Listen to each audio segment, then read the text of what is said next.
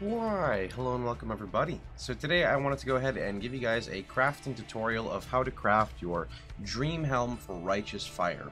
Now, uh, this is not a gameplay video, it's simply going to go over crafting methods for your helmet, but before I start with the dream helmet, I just want to start with the basic helmet for the one you're going to use until you get to this point. So the standard helm for Righteous Fire is you're going to be looking for an item level, I think it's 84 plus. Um, let me just check real fast to confirm. If you guys are not aware of this website, it's called PoEDB. Um, basically, with this uh, with this website, you can track what level what affix rolls at. So as an example, we're looking for Conk, Burn, and Ellie, and then of course like life rolls. So if we look here on prefixes, the highest tier life roll is only item level 64. Uh, if we look at our Elder prefixes, we can see here that uh, burn damage hits all the way up to 82, so we would want an 82 minimum. And then Conk effect is at, Conk is a prefix. Conk is 82, so I believe 82 would be the goal. Uh, I think higher you could get better resistances, but that's only one slot. So if you're looking for damage, 82 is where you're at. Okay, with that being said, let's go back over here. So to go ahead and craft a helmet like this, you're going to use Essences of Horror. Um, not to be confused with Essence of Horror, but Essence of Horror. The reason why is it gives you the 30% more elemental damage to gems socketed in your helmet, which is what you want RF in. So you're going to basically just slam Essences of Horror, in my opinion, for me, until I got some form of burn damage because I wanted a budget helm, right? I didn't want to spend multiple exalts and harvest, you know, add removing a helm that was temporary for me. So that's literally all I did.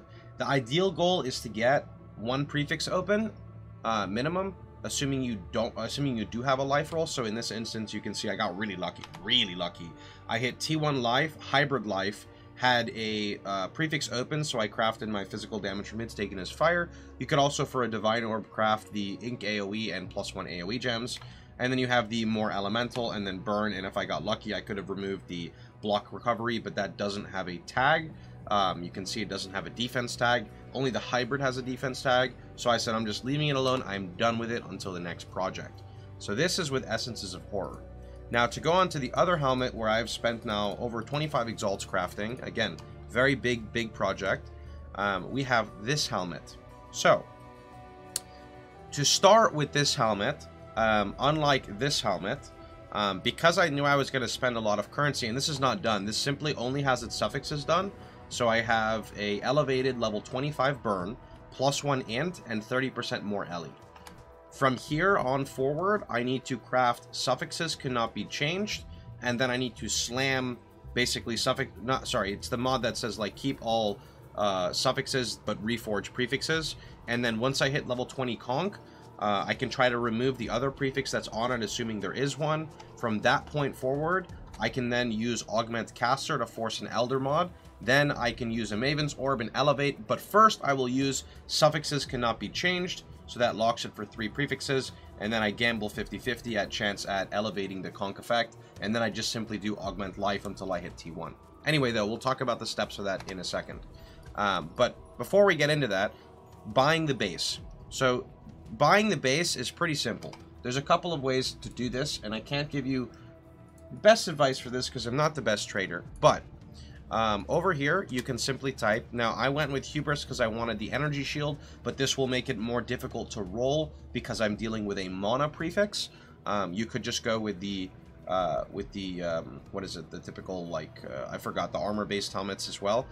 To be fair, all I really did is I searched for my RF enchant, so I went over to helmet, so this is item level 86. So over in the trade menu here, we go to item level 86. Oops.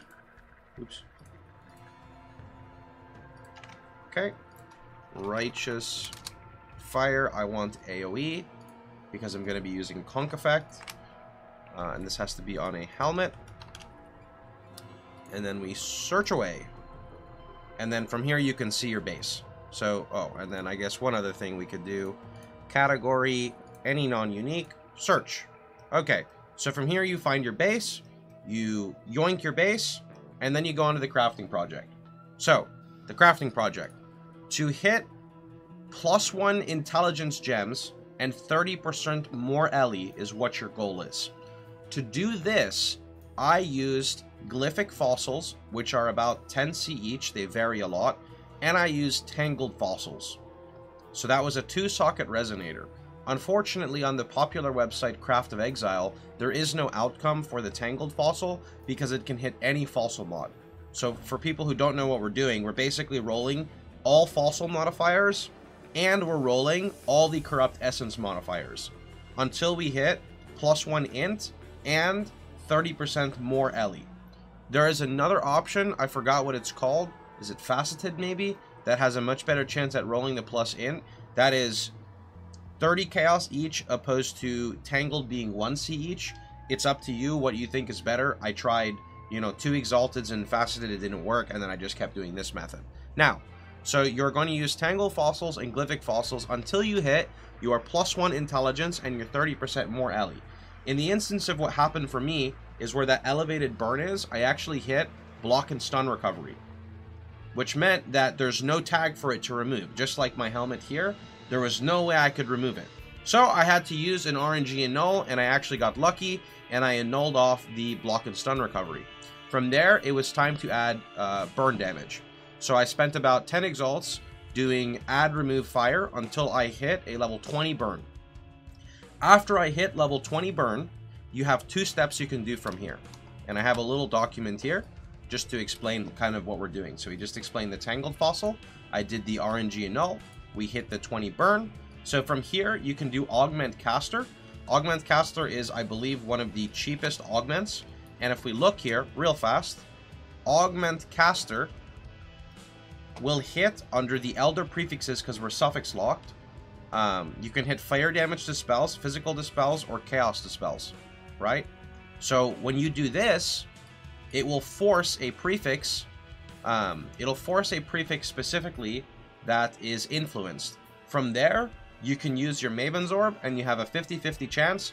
It either hits your burn, and then your suffixes are, are completely done, or it hits your prefix, and then you basically have to like you know spend another 10 to 20 exalts trying to hit a level 20 burn and then you could Maven Orb again so anyway now that we have talked about that I want to talk about where I'm going further which I explained a little bit at the beginning so to continue this further what I would do now is keep suffix reroll prefix until level 20 conk effect this is via harvest after I hit level 20 conk effect I need to look at my prefixes and see if I can remove them the reason why I want to remove them is because I am going to craft suffix cannot be changed for like two exalts. This makes it so that the Maven Orb cannot pull the level 25 burn.